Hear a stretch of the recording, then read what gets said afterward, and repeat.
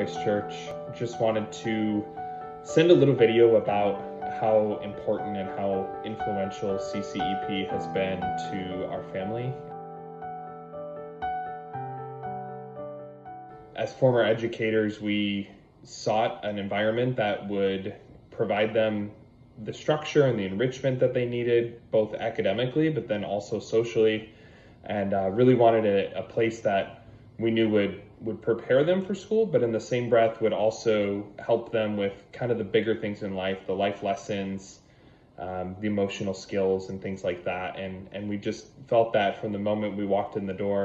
The one thing that sticks out to me the most is just how much that team over at that preschool just loves and cares for not just our kids, mm-hmm. but for us as a whole family. Um, for example, when we first started at, at the preschool, our daughter was in the threes class at the time, and our, we had just had our youngest, our son, and he was born with um, some medical complications. And so early on in his in his life, we we spent a lot of time at um, the hospital for appointments and for surgeries. And um, when we first found this all out, the team and my daughter's teacher put together a backpack of um, just supportive material, books, and activities.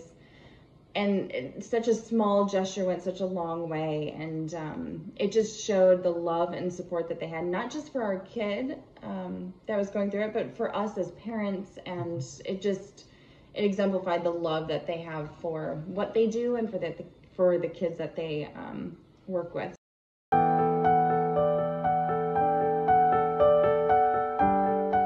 So thank you everybody at CCEP for just having an incredible impact on our on our sweet little family. Yeah, thank you. Looking forward to a wonderful year. Thanks everyone.